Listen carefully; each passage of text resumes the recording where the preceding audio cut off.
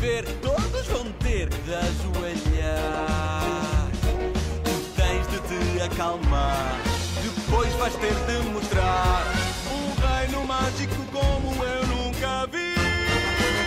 Principal está aqui, ali a Papua. Que poder, vocês vão ver, não é normal.